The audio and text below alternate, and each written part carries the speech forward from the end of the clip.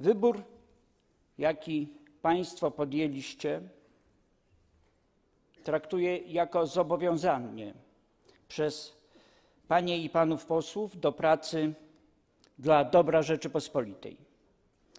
Wypełniając kompetencje marszałka Izby, będę stał na straży wolności, wolności wypowiedzi posłów niezależnie od przynależności partyjnej oraz prawa do debaty prowadzonej między rządzącym obozem, rządzącą większością a stronnictwami opozycyjnymi.